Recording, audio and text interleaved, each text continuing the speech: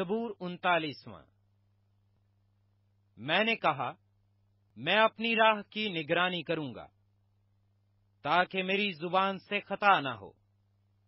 جب تک شریر میرے سامنے ہے، میں اپنے منہ کو لگام دیے رہوں گا۔ میں گونگا بن کر خاموش رہا اور نیکی کی طرف سے بھی خاموشی اختیار کی اور میرا غم بڑھ گیا۔ میرا دل اندر ہی اندر جل رہا تھا۔ سوچتے سوچتے آگ بھڑک اٹھی۔ تب میں اپنی زبان سے کہنے لگا، اے خداوند، ایسا کر کے میں اپنے انجام سے واقف ہو جاؤں۔ اور اس سے بھی کہ میری عمر کی میاد کیا ہے۔ میں جان لوں کہ کیسا فانی ہوں۔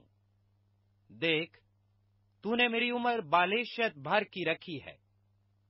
اور میری زندگی تیرے حضور بے حقیقت ہے۔ یقیناً ہر انسان بہترین حالت میں بھی بالکل بے ثبات ہے۔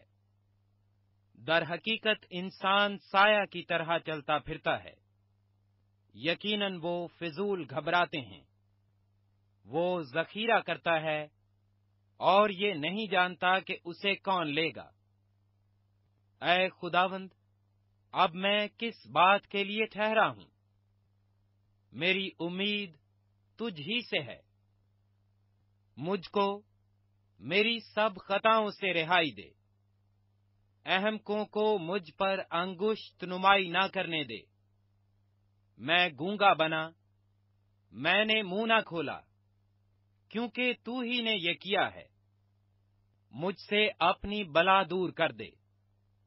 میں تو تیرے ہاتھ کی مار سے فنا ہوا جاتا ہوں۔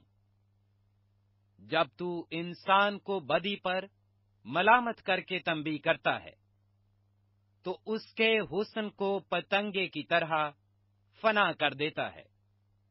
یقیناً ہر انسان بے ثبات ہے۔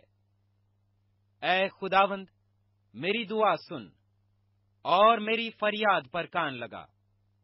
میرے آنسو کو دیکھ کر خاموش نہ رہ، کیونکہ میں تیرے حضور، پردیسی اور مسافر ہوں۔ جیسے میرے سب باپ دادا تھے۔ آہ، مجھ سے نظر ہٹا لے تاکہ تازہ دم ہو جاؤں۔ اس سے پہلے کہ رحلت کروں اور نابود ہو جاؤں۔